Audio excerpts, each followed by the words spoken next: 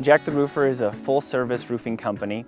We work in residential properties and we also work with HOAs to get larger communities. My name is Jack Cottrell. I am owner of Jack the Roofer LLC. We're located in Parker, Colorado and we service the entire Front Range.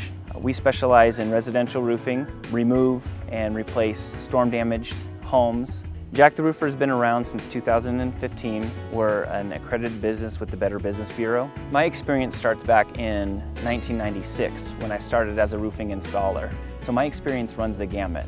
And I started Jack the Roofer back in 2015 knowing that I can put on a superior product. We work with your insurance company to get you a fair settlement for your roof.